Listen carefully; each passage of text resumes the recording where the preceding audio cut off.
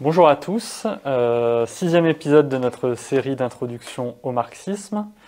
Donc euh, la semaine dernière on a parlé de l'État et donc on poursuit euh, aujourd'hui sur la question des marxistes et de la religion. Voilà, alors effectivement c'est un sujet délicat, surtout qu'à notre époque il y a une certaine remontée, comment dirais-je, du fait religieux, on dit ça comme ça quelquefois, et plus encore c'est encore plus inquiétant que ça, du fait intégriste, quelque part. Alors, je préviens tout de suite que quand je vais parler de la religion, bien sûr, ça a un côté un peu artificiel. C'est une première approche aujourd'hui que nous faisons. C'est un phénomène extrêmement euh, complexe, multiple, qui embrasse des millénaires et des millénaires, et par conséquent, euh, bien sûr que ce que je peux dire aujourd'hui peut apparaître comme euh, étant beaucoup trop sommaire, quoi, ou simplificateur mais il faut bien commencer par quelque chose qui t'a débrouillé euh, tout cela par la suite. Le premier point que quand même on peut mettre en avant, c'est que il y a, il faut bien le dire, parce que ce serait ne pas respecter euh, les croyants, qu'ils soient chrétiens, qu'ils soient musulmans, qu'ils soient euh, bouddhistes, etc. Ça ne serait pas les respecter que de faire comme s'il n'y avait pas une contradiction forte, voire un certain antagonisme, je dirais, entre les conceptions du monde religieuses, d'une part, et euh, marxistes de l'autre. Il faut quand même constater cela. Pourquoi? Eh bien parce que le fondement quand même des conceptions religieuses, d'une manière ou d'une autre, c'est que euh, l'esprit, d'une manière ou d'une autre, a créé euh, la matière, qu'il y, a des, qu'il y a des dieux. Alors je sais bien qu'on va m'objecter que peut-être dans le bouddhisme, il n'y a pas de croyance en Dieu proprement dite, mais ça serait même très contestable.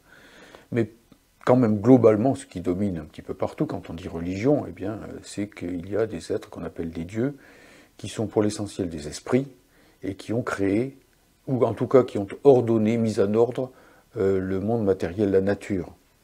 Et ce n'est pas un hasard, parce que bien souvent, les conceptions religieuses sont nées des conceptions magiques, qui ont prédominé pendant très longtemps, lorsque l'humanité ne connaissait pas, de façon scientifique, comment, comment les aurait-elle euh, les lois de la nature. Hein. et que par conséquent, eh bien, euh, on pouvait penser que euh, eh bien, si la faute tombait, c'est parce qu'il y avait un dieu qui s'appelait Zeus ou qui s'appelait Jupiter qui euh, était à l'origine de ce phénomène, ou si des éruptions volcaniques se déclenchaient, c'est parce qu'il y avait également des esprits ou des dieux, en tout cas, bon, qu'on a appelé ainsi, qui avaient des puissances ou des pouvoirs magiques au fond, et qui pouvaient déclencher cela à volonté qu'il fallait donc prier, il fallait les prier, il fallait les supplier, il fallait leur faire des offrandes pour qu'ils se calment. Et euh, bon, ces conceptions magiques, évidemment, elles se sont épurées. Je ne dis pas que les conceptions religieuses sont les conceptions magiques, je dis qu'elles en viennent, c'est pas tout à fait pareil.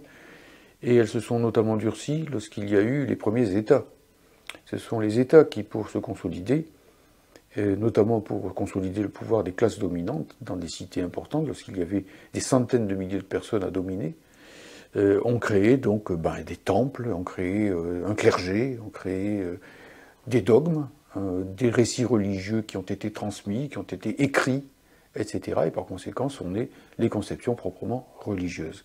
Même si par, par la suite elles se sont épurées, qu'elles ont pris un tour plus, comment dirais-je, raisonné, si l'on peut dire, qu'elles ont donné lieu à des théologies, à des choses de ce genre, n'empêche que c'est de cela que ça part.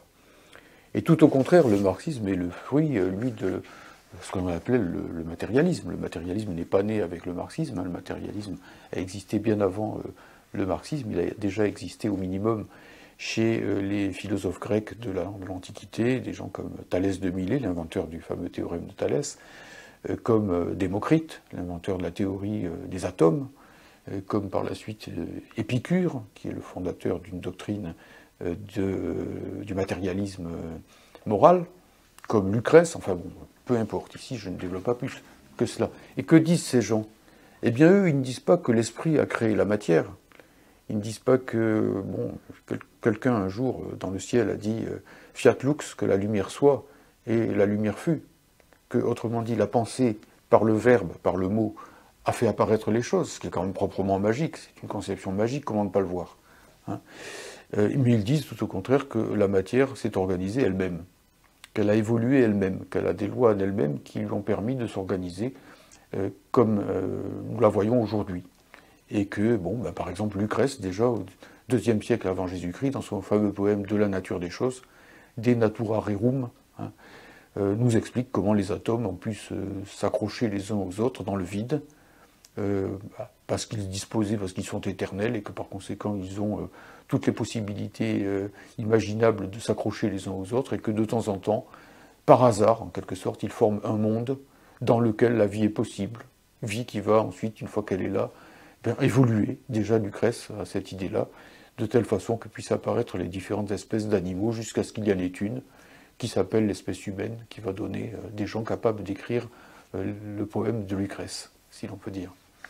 Donc ça, c'est le matérialisme. Et justement, comme Marx est un matérialiste accompli, Marx et Engels sont des matérialistes accomplis, c'est-à-dire qui vont jusqu'au bout du matérialisme, eh bien, ils vont euh, forcément se heurter à la religion. Et ils vont même dire que le principe de toute critique est la critique de la religion, que c'est elle qui commence les autres critiques. Pourquoi? Eh bien parce que Marx et Engels sont les fondateurs du matérialisme historique, c'est-à-dire qu'ils font entrer le matérialisme dans le domaine de l'histoire et de la société.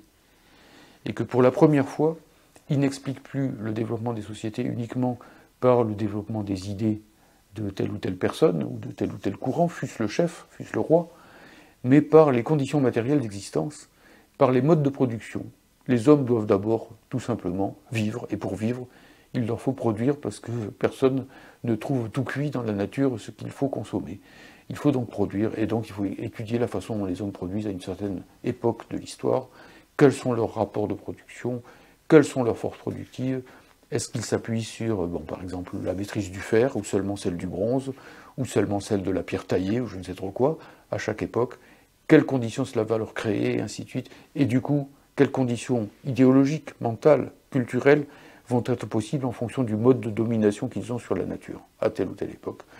Par conséquent, on voit que ce matérialisme intégral, qui est celui des marxistes, qui est tout simplement la volonté d'aborder la, vie euh, d'une façon scientifique, d'une façon rationnelle, de ne pas, euh, comment dirais-je, concéder quoi que ce soit à euh, l'explication magique du monde, eh bien cette façon de faire va les opposer à la religion.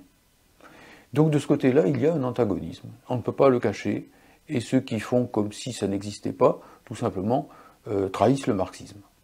Et je pense ne respectent pas les croyants, puisqu'ils mentent. Mais une fois qu'on a dit ça, eh bien, bizarrement, ça va conduire à des possibilités de dialogue totalement insoupçonnées entre les marxistes et les croyants. Pourquoi?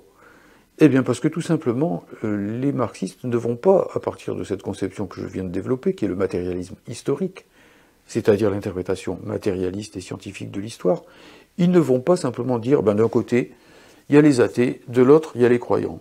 Et c'est la guerre entre les deux. On va se battre entre les deux. Ça, c'est les conceptions qui ont prédominé à l'époque où la bourgeoisie était une classe révolutionnaire, où elle a dû affronter euh, tout simplement ben, l'ancien régime, et que l'ancien régime étant lui-même euh, lié à l'Église, étant lié à l'idée que le trône et l'autel ne font qu'un, la bourgeoisie a dû affronter euh, très fortement l'Église catholique, par exemple pour un pays comme la France.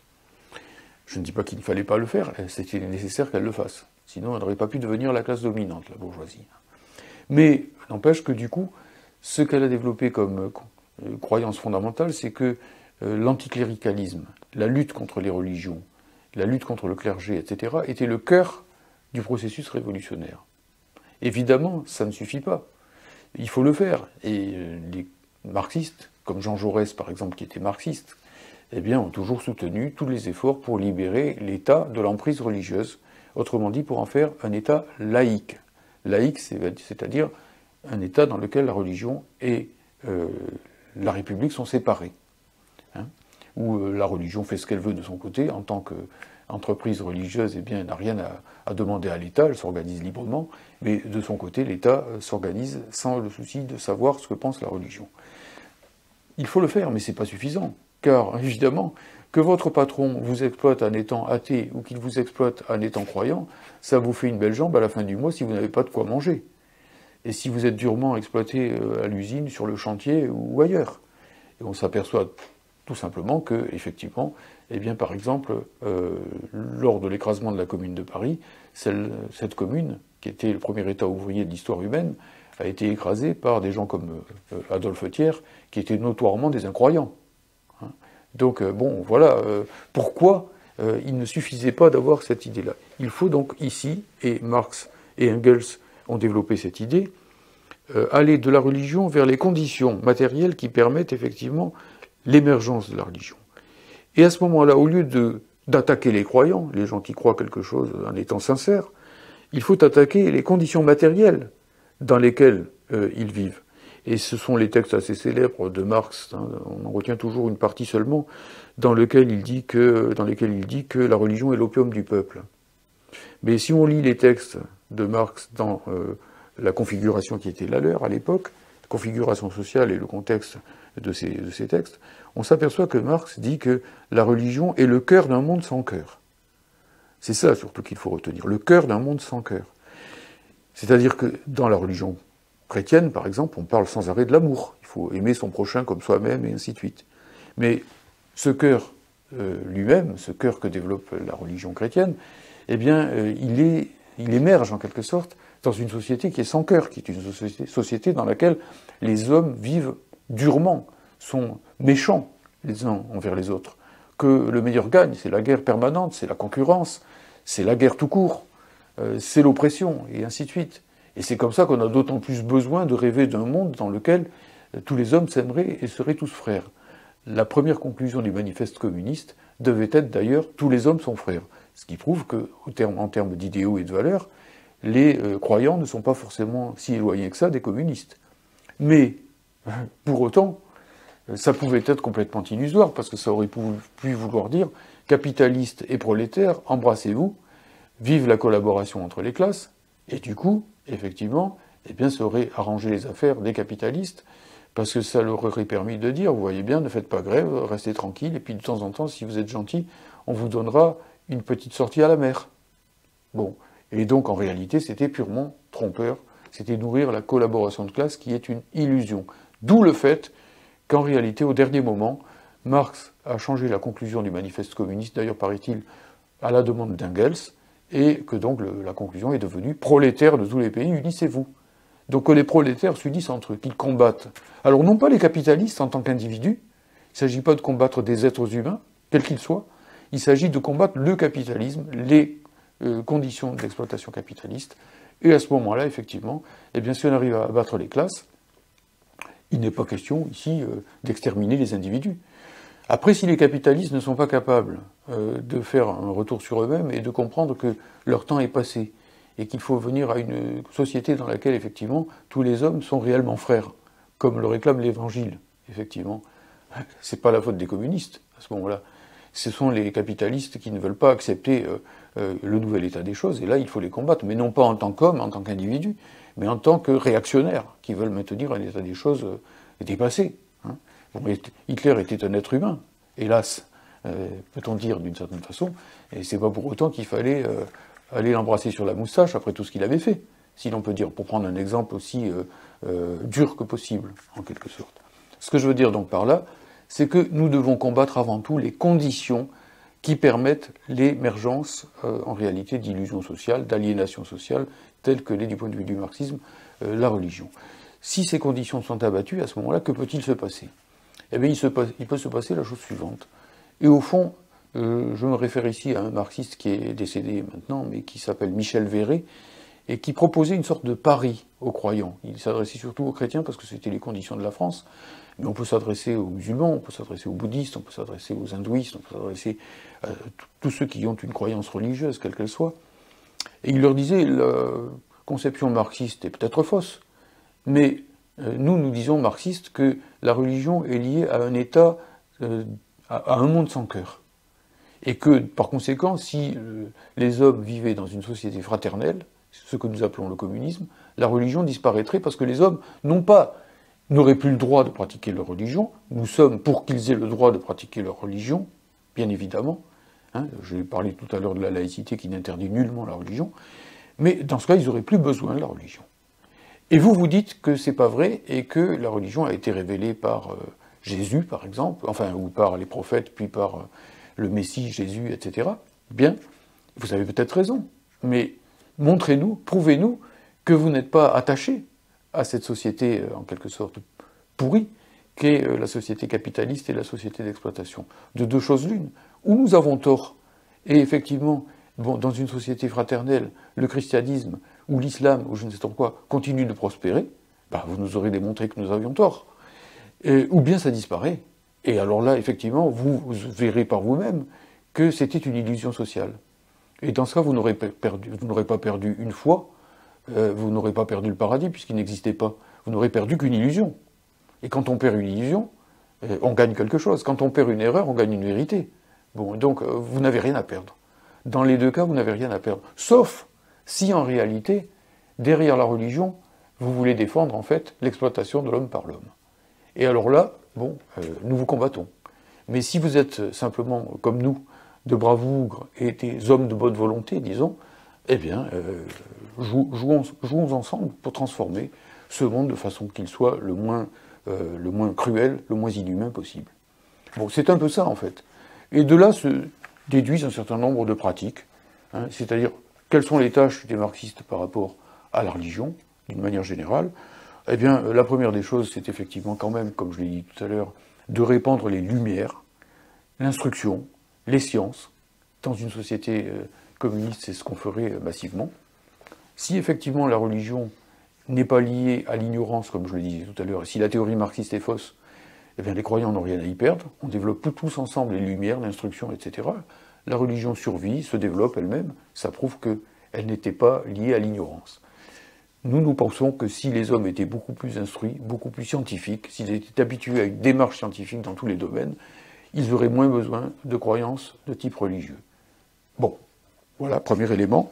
La deuxième, et c'est ce qu'ont fait par exemple des gens comme Diderot, par exemple, hein, euh, au XVIIIe siècle avec euh, l'encyclopédie. C'est ce que par la suite ont fait des gens comme, pour citer des communistes français, les deux grands savants qui étaient Paul Langevin et Henri Wallon. Le plan Langevin-Wallon pour l'école qui a été mis en place bah, après, la Deuxième Guerre mondiale et qui visait à développer largement l'éducation nationale. Voilà. C'est aussi la défense de la laïcité, dont j'ai parlé tout à l'heure. Le dialogue avec les chrétiens est indispensable, avec les musulmans et ainsi de suite. Mais nous leur demandons, comme nous nous le demandons à nous-mêmes, le respect de la laïcité. Si nous étions au pouvoir, eh bien toutes les religions auraient le droit d'exister, bien évidemment, mais pas d'empiéter sur euh, le politique. Le politique, c'est le commun, c'est ce qu'on a en commun, et c'est ce qui doit gérer les affaires de la cité. Et à ce moment-là, d'ailleurs, de véritables croyants ne devraient pas être gênés par cela, parce que ça veut dire du même coup qu'ils sont protégés contre l'État. Ils ne peuvent pas empiéter sur l'État, mais l'État ne va pas leur dire ce qu'il faut croire ou ne pas croire. Et qu'ils se méfient de ces gens qui, en ce moment, par exemple, du côté euh, de Sarkozy, il y a quelques années maintenant, de Darmanin et compagnie, voudraient en quelque sorte, par exemple, organiser l'islam de France, comme on dit. Si l'État se met à organiser la religion, euh, bon, moi, ça ne plairait pas si j'étais euh, si croyant. C'est aux croyants de s'organiser eux-mêmes. Ensuite, c'est la main tendue aux travailleurs croyants. Ça, c'est Maurice Thorez en 1936 Hein, au moment du Front populaire, qui se tourne vers les travailleurs catholiques et qui leur dit, eh bien, euh, face au fascisme, face au capitalisme, face à la crise qui nous menace, face à la guerre impérialiste qui monte, unissons-nous, unissons-nous. Et je remarque d'ailleurs que d'un certain côté, effectivement, les euh, chrétiens, euh, par exemple, qui se sont situés toujours sur les positions de la classe ouvrière, c'est-à-dire par exemple les prêtres ouvriers, les PO comme on dit, la jeunesse ouvrière chrétienne, la JOC, et ainsi de suite, ont toujours accepter d'une certaine façon cette main tendue. Au fond, c'est assez logique, hein. nous voulons transformer la société, nous voulons que les hommes vivent mieux, nous voulons... Euh, si nous aimons les hommes, c'est pas pour qu'ils vivent mal, c'est pour qu'ils vivent bien. Bon. Et enfin, bon, euh, surtout pour, le fond des choses, faisons en sorte que le, monde sans cœur qui enfante la religion devienne un, monde, comment dirais-je, un monde d'amour. Et dans ce cas, il n'y aura plus besoin de la religion. Et si la religion survit, eh bien, tant mieux pour elle. Euh, dans ces conditions-là, si vous voulez. Euh, c'est une expérience, au fond. C'est une expérience que proposait euh, Michel Véret. Alors je trouve qu'il faut, au fond, la développer d'une façon assez large et que nous avons des adversaires communs. Par exemple, à l'heure actuelle, eh bien, la menace d'extermination de l'humanité. Tout simplement. La menace de guerre nucléaire. J'observe d'ailleurs que dans la dernière période, et ce n'est pas pour rien qu'il se prend une volée de bois vert très régulièrement par toute une série de réactionnaires, y compris de réactionnaires catholiques, le pape actuel, le pape François, a lancé des messages. Alors, il continue de parler d'agression russe et bon, il met euh, la Russie au premier plan de sa critique. Je ne sais pas s'il peut réellement faire autrement d'un point de vue politique d'ailleurs, euh, de l'endroit où il est, je veux dire. Mais voilà que ça soit entendu, ça soit entendu ce message-là. Nous, ce que nous demandons avant tout, c'est effectivement qu'on cesse de jouer le jusqu'au boutisme en Ukraine et qu'on joue les négociations, qu'on joue sur le rapprochement diplomatique, qu'on ne dise pas d'abord la victoire et l'écrasement total de la Russie et après on discutera. Si on dit des choses pareilles, c'est qu'on n'est pas pour la paix, c'est qu'on est pour, pour la guerre et qu'on est même pour la guerre nucléaire, parce que la Russie, qu'on l'aime ou qu'on ne l'aime pas, est un État nucléaire. Voilà, il faut regarder les choses en face. Voilà donc en quelque sorte un petit peu ce qu'on pourrait dire euh, à ce niveau-là en première approximation et en étant très conscient que bien des choses que je viens de dire sont euh, tout à fait euh, bon, approximatives. Quoi. Merci. Euh, est-ce que tu peux nous donner quelques conseils euh, de lecture? Oui, alors euh, d'abord, je ne sais pas comment faire pour le retrouver, il faut le chercher chez les bouquinistes. Il y a un très beau livre de Michel Véret, que j'ai cité tout à l'heure. Véret, ça s'écrit V-E, 2 R, E-T, et qui s'intitulait Les marxistes et la religion. Je l'ai prêté à quelqu'un qui ne me l'a jamais rendu, donc je ne peux même pas le montrer à l'écran, mais c'est dommage, c'était très, ça me paraissait très On le retrouvera pour, très le montrer. Voilà, très bien, et très dynamique. Euh, moi-même, j'avais écrit il y a quelques années pour euh, les libres penseurs de Dunkerque une petite brochure, une petite brochure qui s'appelait Vigilance laïque et résistance anticapitaliste, pour montrer comment on peut s'articuler une lutte anticapitaliste et euh, la vigilance laïque. Euh, il y a aussi une brochure du PRCF qui s'intitule euh, Le marxisme et la religion. Et euh, elle est là. Voilà. Celle-là, je peux la montrer à l'écran peut-être. Donc la revue Étincelle, un la cahier d'étincelles pour une analyse marxiste de la religion. C'est un cahier d'étincelles. Ça, on mettra le lien pour ceux qui souhaitent la commander. Très bien. Et puis alors, il y a aussi quelques années, voilà, il y avait eu alors quelque chose que je peux recommander quand même globalement, c'est la grande époque euh, du dialogue entre communistes et chrétiens. C'est Roger Garaudy euh, qui avait écrit ça, donc ça, s'intitule L'Église, le communisme et les chrétiens. On voit l'énorme retard qui a été pris parce que rien n'a été fait pour, par exemple, développer la même chose avec les musulmans qui sont aujourd'hui quand même nombreux euh, dans notre pays. Mais bon, c'était c'était très intéressant. Et il ne faut pas lire Garaudy à l'envers, quoi, parce que bon, Garaudy, pour le dire un peu vite et méchamment, euh, a peut-être pas très bien tourné à la fin de sa carrière politique et philosophique, mais ça ne veut pas dire qu'il n'ait pas écrit des choses intéressantes auparavant. Et là, c'était quand même euh, d'un certain niveau. Quoi. À l'époque, il était d'ailleurs l'un des dirigeants du Parti communiste français, et ça avait été un grand dirigeant de la résistance aussi. Hein. Il n'a pas toujours été le personnage un peu inquiétant qu'il était à la fin de sa vie, où il a complètement euh, dérapé sur certains points. Pas surtout. Les, les gens ne sont pas blancs ou noirs. Mmh, bien sûr. Ok, bah merci beaucoup. Euh, donc bah voilà, vous avez un petit peu de lecture encore pour la fin de l'été. Euh, donc euh, merci pour votre écoute.